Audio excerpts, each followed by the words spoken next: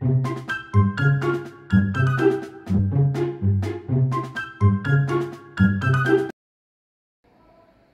arkadaşlar. Karekök yayınları bölme bölünebilme konusuyla devam ediyoruz. Birinci sorumuz. Şekildeki küpün her köşesine pozitif tam sayılar yazılmıştır. Küpün her yüzeyinin merkezine ise o yüzeyin köşelerindeki sayıların toplamı yazılmıştır. Buna göre bu küpün yüzeylerinin merkezlerindeki sayıların toplamı aşağıdakilerden hangisi olamaz? Böyle göz korkutucu bir soru gibi görünse de arkadaşlar gayet güzel e, ince bir soru olarak düşünebiliriz. Şimdi bunun adamın e, söylediği şeyin bir izahını yapmaya çalışalım. Burada diyor ki ben buraya A, B, C, D gibi köşeler işte buraya E, F gibi sayılar yazıyorum. Sonra diyor şuraya diyor buraya A artı B artı C artı D yazıyorum. Şuraya da G yazalım. Mesela şuraya da diyor A artı B artı E artı G yazıyorum. Yani yüzeyin ortasına oradaki köşedeki sayıların toplamını yazıyorum. Pekala. Diyor ki bütün yüzeylerdeki yani buradaki, buradaki, buradaki ve arka yüzeylerdeki bütün sayıları topladığımda bu sayıların toplamı aşağıdakilerden hangisi olamaz diyor. Şimdi düşünelim arkadaşlar. Ben şuraya bir yaz, bir sayı yazdım. Mesela geldim x dedim. Buradaki sayıyı buradaki yüzeyde kullanacağım.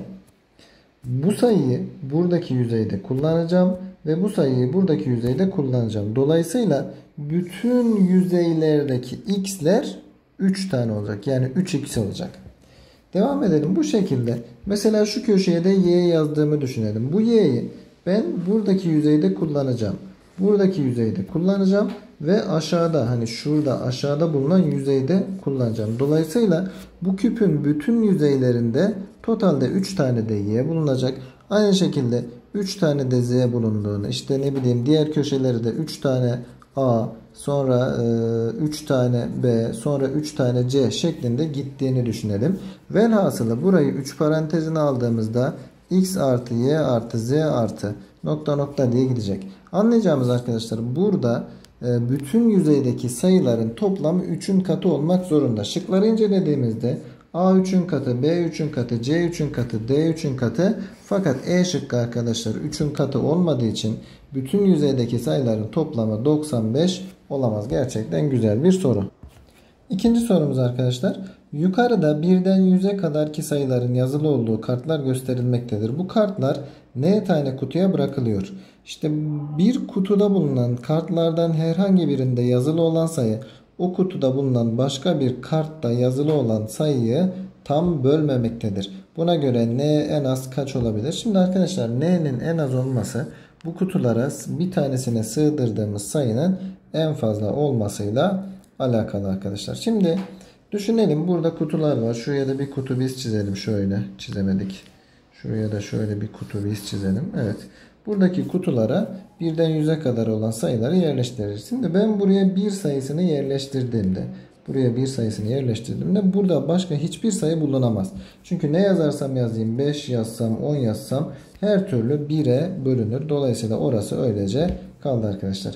Buraya 2 yazdığımda e, burada 3 yazabilirim. Fakat ben buraya 4'ü yazamam. Burada bitti. Buraya 4 yazdığımda 5'i yazabilirim, 6'yı yazabilirim, 7'yi yazabilirim fakat 8'i yazamam. Buraya 8 yazdığımda 9, 10, 11 nokta nokta nokta en fazla 15 yazabilirim. 16 yazarsam 8'e bölünür. Sonra sıradaki kutuya 16 yazdığımda böyle devam eder. En son 32'ye gidemem. Burada en fazla 31 yazabilirim. Sonra buraya 32 yazdığımda 32 yazdığımda buradan devam eder gidersem Buraya en fazla 63 yazabilirim. 64 yazamam.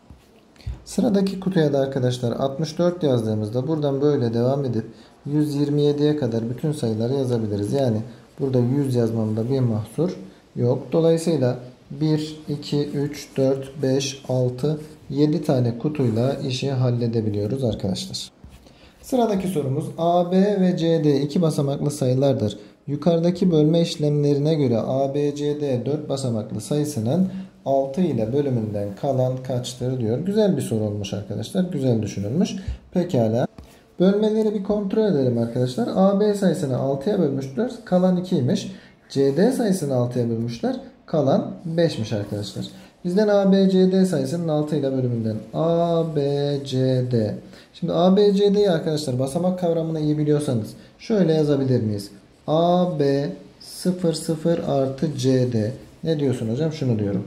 Mesela biz 1453 sayısını 1453 sayısını 1400 artı 53 şeklinde yazabiliriz arkadaşlar.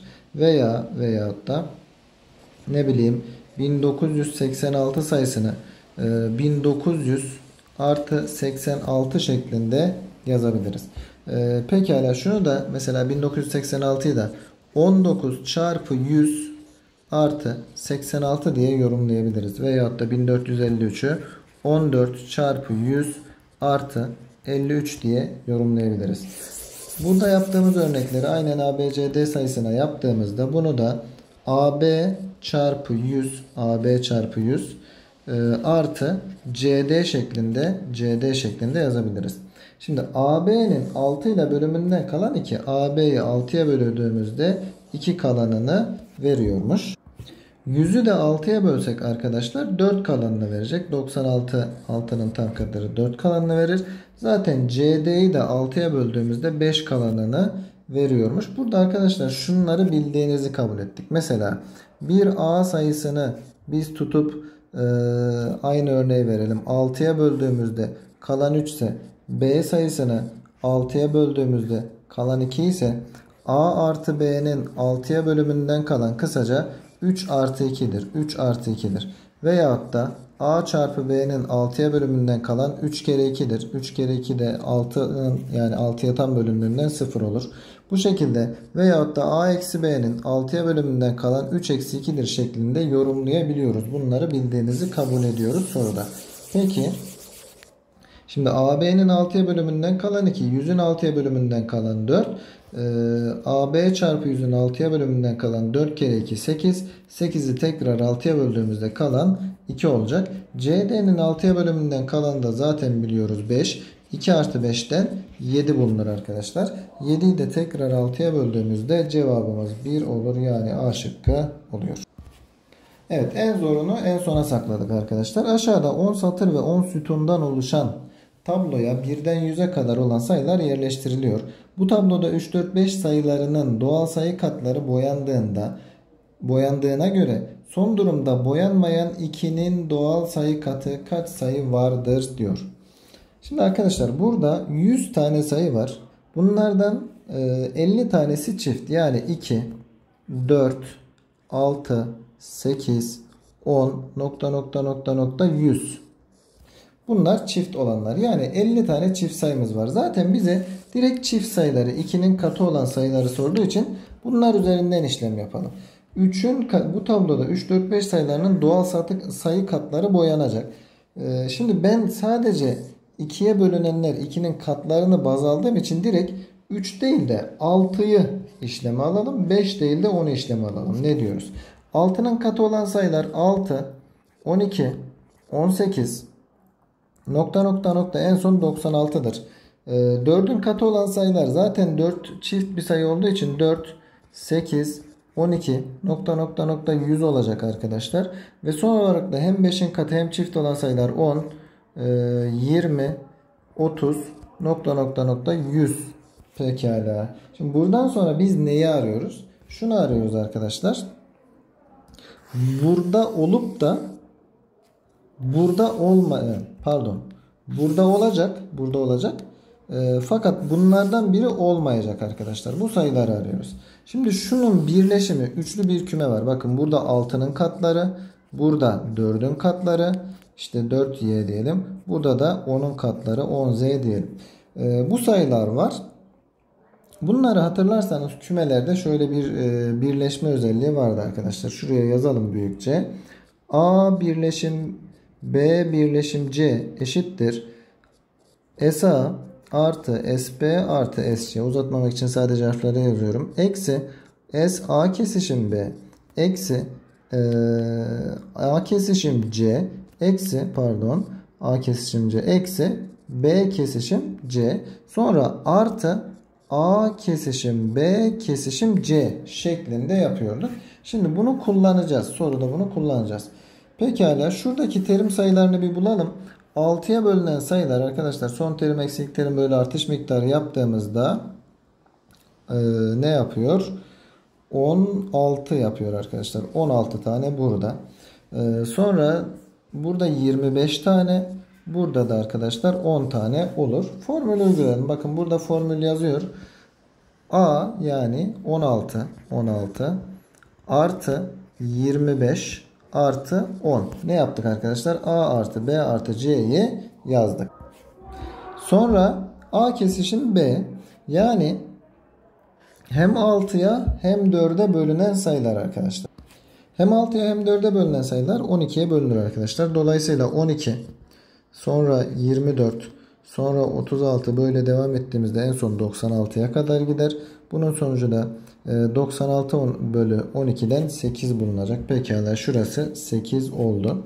Sonra arkadaşlar hem 4'e hem 10'a bölünen sayılar 20, 40, 60 diye gidecek. Direkt burayı da hızlıca sayabiliriz. 5 tane var. Son olarak da ne yapalım?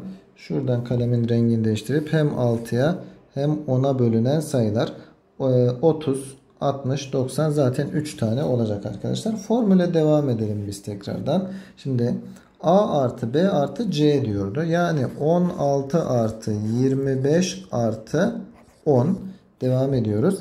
Eksi A kesişim B yani 8. 8. Sonra 3. Sonra da 5. Sonra bir de ne var arkadaşlar? A kesişim B kesişim C. Hem 6'ya hem 4'e hem de 10'a bölünen sayılar veyahut da 3, 4, 5'e bölünen sayılar 60 olur arkadaşlar. Zaten 100'e kadar bir tane vardır. Bunu da sonuna ekleyeceğiz. Pekala işlemimizi yapalım. 11, 10, 15. 15 şuradakini götürürse 10 kalır. 10, 10 daha 20. 16 da buradan 36 tane sayı var arkadaşlar. Biz bunları istemiyoruz. Cevap bunları istemiyor. Neyi istiyor? Şuradaki 50 sayıdan 50 sayıdan bu 36 tane sayıyı çıkartıp 14 bulmamızı istiyor. Yani cevabımız E şıkkı olacak. Gerçekten güzel, orijinal ve zor bir soruydu. Umarım faydalı olmuştur arkadaşlar. Hepinize başarılar, iyi çalışmalar.